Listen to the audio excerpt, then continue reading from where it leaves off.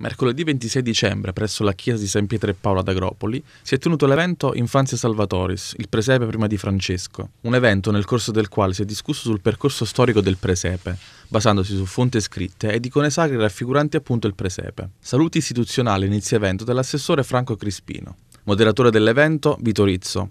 Sono intervenuti la professoressa e critico d'arte Antonella Nigro, il parroco di Agropoli Carlo Pisani. L'evento è stato arricchito dall'ascolto di brani sacri eseguiti dal vivo dall'orchestra Utopia Ensemble.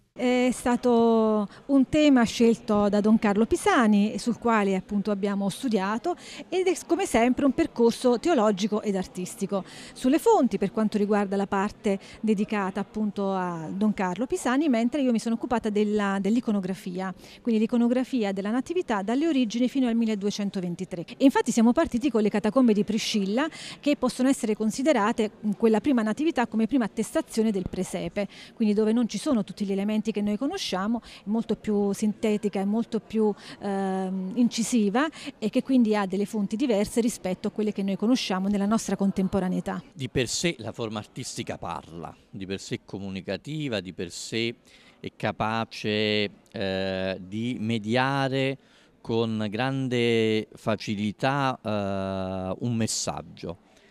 Eh, ancora di più quando poi questo messaggio è stato capace a sua volta di produrre arte. No? Cioè, il cristianesimo parla attraverso, attraverso l'arte eh, e dunque credo sia indispensabile riuscire a comprendere eh, il linguaggio artistico che, il che, che, che mutua ecco, il, messaggio, il messaggio cristiano.